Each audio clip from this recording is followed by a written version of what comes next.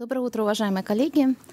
Э, это, наверное, знаменательно, что именно с моего доклада о э, печени начнется эта,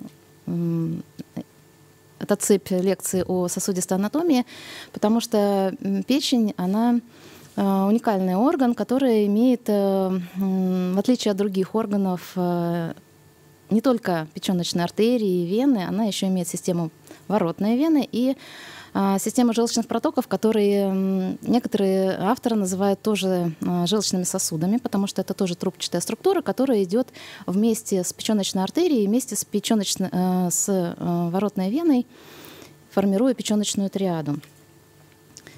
И а, на этапе предоперационного планирования задачи врача-рентгенолога является не только выявить образование в печени, но и также оценить э, варианты э, сосудистой анатомии печени, варианты сосудистой инвазии печени, которая напрямую будет зависеть, от, от чего напрямую будет зависеть стадия заболевания и тактика его лечения. Ну, для того, чтобы э, правильно оценить э, все сосуды в печени, необходимо правильно выполнить исследование. И, конечно, э, исследование необходимо выполнить с высокими скоростью, с объемом и контрастным препаратом и выполнить исследования во все фазы последовательные, в которые будет видно артерии, потом портальные сосуды и печеночные вены. В дальнейшем можно сделать различные реконструкции для того, чтобы лучше визуализировать сосуды. Это э, МИП или ВРТ. И начну я свой доклад с э, сосудистой анатомии именно артерий. Но подробно останавливаться я не буду на э, анатомии целиако-мезотериального бассейна, а, потому что этому будут посвящены также в других докладах моих коллег сообщение и расскажу только про именно печеночные артерии. Э, ну, где-то в каждый третий пациент, э, который встретится у нас, он будет иметь какую-то вариантную анатомию. И обязательно нужно обращать на это внимание и описывать в своем э, протоколе. А, типичная анатомия печеночных артерий э, – это отхождение общепеченочное от чревного ствола, которое в последующем делится на левую и правую ветви. И вариантов анатомии на самом деле очень много, и нужно обращать внимание, откуда именно отходит правая ветвь ворот, э, печеночной артерии, откуда левая. Как у этого пациента, представленного на слайде, у него отдельно правая и отдельно левая печеночная артерии отходят от черевного ствола. А, или, например, как у этого пациента а, достаточно часто встречается в практике э, у пациентов, что пациент имеет э, различные добавочные или замещающие левую или правую печеночные артерии. У пациента э, видно, что есть а, замещающая левая печеночная артерия, которая отходит от левой желудочной артерии, и замещающая правая печеночная артерия, которая отходит от верхней брожеечной артерии. Помимо этого, помимо описания а, отхождения правых, э, правой и левой печеночных артерий, необходимо определить точку, откуда берет начало артерия четвертого сегмента, или иногда ее еще называют э, артерия, средняя печеночная артерия. И она может отходить как от левой так от правой печеночной артерии, так и от общей печеночной. Вот как у этого пациента а, артерия четвертого сегмента отходит от общей печеночной артерии. Или у этого пациента э, артерия четвертого сегмента отходит от правой печеночной артерии. И это важно, когда э, пациенту планируется выполнение правосторонней гемогепатоктомии, чтобы эта артерия была обязательно сохранена и, в после... и исключить в последующем ишемию э, левой доли печени после операции. А, вариантов анатомии воротной вены а, намного меньше, и а, есть различные классификации. Самая известная — это классификация Накамура. И воротная вена делится на правую и левую ветви, а правая ветвь, в свою очередь, делится на переднюю и заднюю. Более подробно описаны варианты анатомии именно правой воротной вены — И это связано с тем, что авторы, которые предлагали различные, модифик... различные классификации, они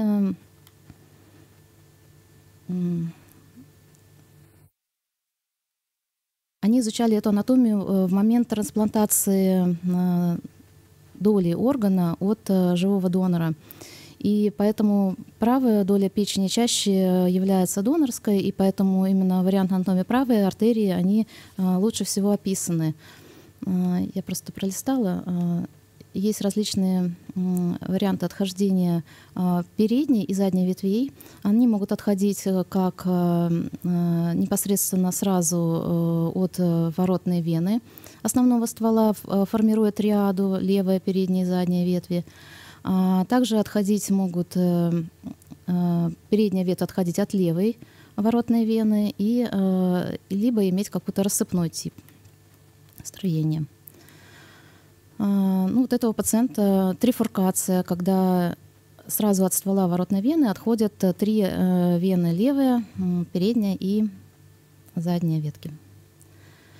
Левая воротная вена, она делится сначала на умбиликальную и э, ветвь второго сегмента. В, даль- в дальнейшем умбиликальная уже вена разделится на вены четвертого и третьего сегмента. И очень важно это а, оценивать э, при планировании операции на левой доле, когда очаги расположены, например, в четвертом, третьем во втором сегменте, что будет важно для хирургов э, местом, где э, будет выполнена перевязка этой вены. Также имеет значение описывать место ветвления воротной вены – Э, зачастую, ну, воротная вена, она имеет два, два участка. Сначала интрапеченочный и второй внутрипеченочный. И э, иногда бывает открытый тип, когда ветвение происходит э, вне паранхимы, и это очень удобно при э, перевязке во время выполнения гепатоктомии. Анатомия печеночных артерий, арте, э, печеночных вен э, тоже менее вариабельная, и э, она имеет э, как мы знаем, эти вены есть левая, средняя и правая печеночные вены. И э, между ними проходят э, умбиликальная фиссуральная вена и передняя фиссуральная вена, э, знание и визуализация которых важна иногда для хирургов при выполнении расширенных гемогепатоктомий, а, умбиликальная фиссуральная вена забирает кровь от 3 и 4 сегментов, и она очень хорошо визуализируется интероперационно и иногда является ориентиром для хирургов. Ну, в 95% случаев это типичное отхождение левой, и когда левая и средняя печеночная вена впадают одним стволом в нижнюю полую вену. И в редких случаях встречаются различные вариации. Также нужно помнить, что есть э, не только верхние вот эти э, три вены главные, но и есть и группа нижних э, правых печеночных вен. Обычно их от 2 до 6, и они бывают разные по диаметру, и иногда помогают хирургам в планировании различных сегментоктомий. Ну, при После того, как мы визуализировали э, нормальную анатомию и указали различные варианты э, строения сосудов печени, э, нужно оценить сосудистую инвазию и распространенность опухолевого процесса. И для хирурга будет важным оценить, где расположена опухоль в пределах одного, одной анатомической доли или в одного, одного сектора или сегмента. Да, так как у этого пациента опухоль расположена на границе седьмого и восьмого э, сегмента, то есть это уже э, два сектора, и есть инвазия правой печеночной вены. Или как у этого пациента опухоль располагается э, в, в одном сегменте. Также необходимо указать, есть ли распространение опухоли на контралатеральную долю, от чего будет зависеть, соответственно, возможность выполненной операции.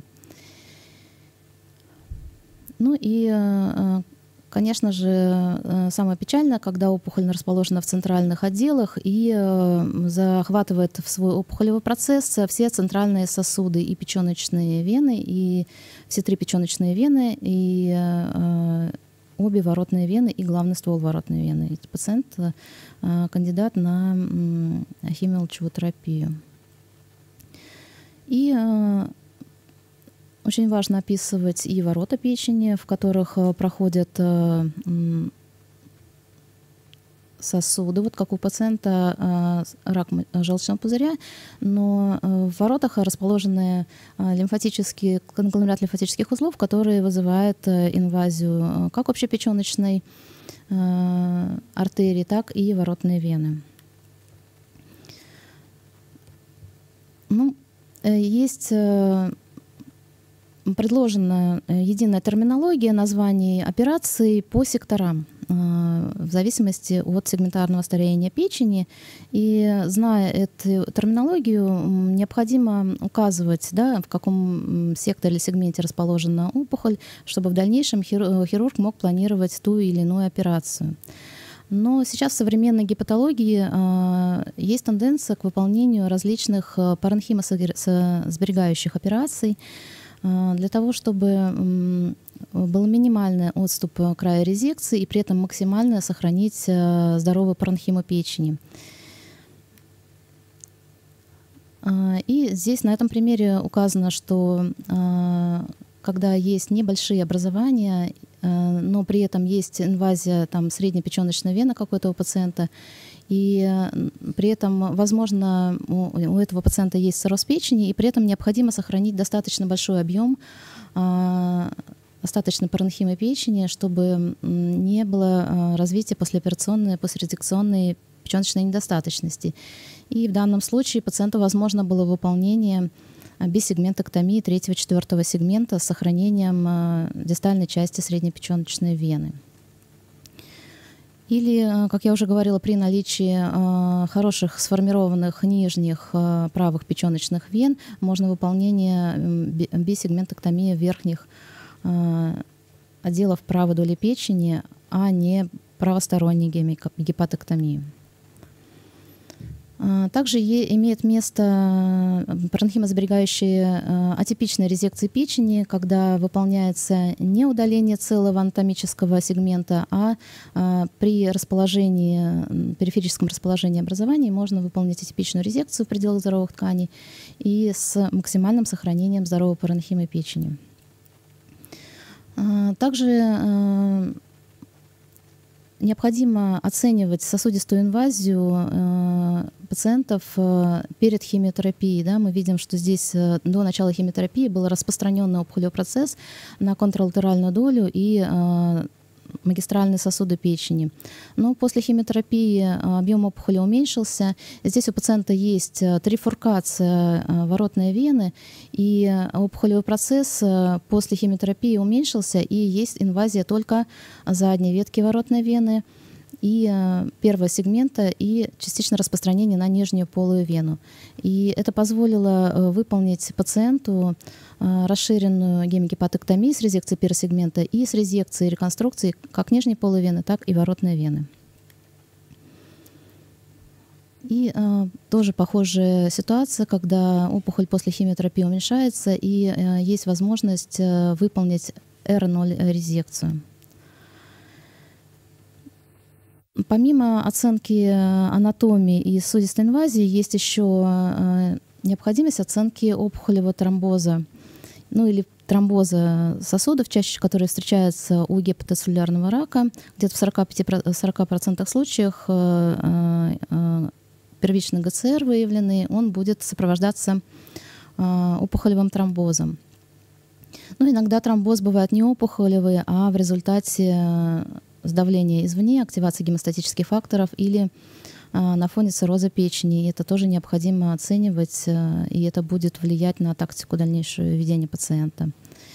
А, также э, это, в свою очередь, будет приводить к различным э, механизмам компенсаторному формированию как кавернозной трансформации воротной вены, протоковальным анастомозом, который необходимо тоже описывать, и формирование различных фистул артериопортальных, артериовенозных. А, при Э, опухолевом тромбозе при ГЦР э, Чангом была предложена классификация, э, которая основана на том, на, какой, на какие вены распространяется тромбоз. И это очень важно для предоперационного планирования, потому что пациенты, например, с первым и вторым типом, когда опухоль распространяется только на сегментарный или одну из долевых воротных вен, то этому пациенту при э, достаточном объеме контралатеральной здоровой доли может быть выполнено оперативное вмешательство. И наоборот, когда уже э, третий или четвертый тип, то операция этому пациенту э, не будет показана. Ну, как вот у этого пациента, да, мы видим, что распространяется опухолевый тромб уже на контралатеральную вену, и э, третий тип не является показанием для операции. И также опухолевый тромбоз в печеночных венах э, может быть пациент прооперирован, если опухоль распространяется только э, в печеночных венах. Но если опухолевый тромб уже э, распространяется в нижнюю полую вену и выше диафрагмы, то, к сожалению, этот пациент не может быть прооперирован.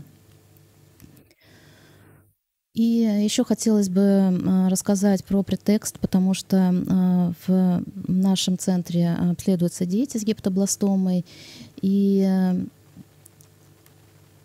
именно сосудистая инвазия, которую мы должны описывать в своем протоколе, она будет непосредственно указывать на риски заболевания. И э, нужно описывать инвазию э, печеночных вен. И причем, если все три печеночные вены или нижняя полая вена поражены, то это уже будет э, В3 и высокий риск. И э, когда обе воротные вены или главная воротная вена будут поражены, то это тоже высокий риск.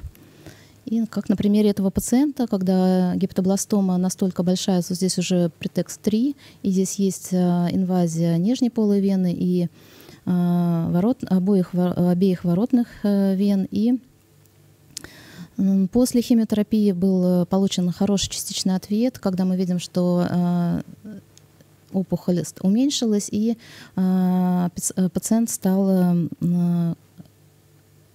другую стадию посттекст и был успешно прооперирован.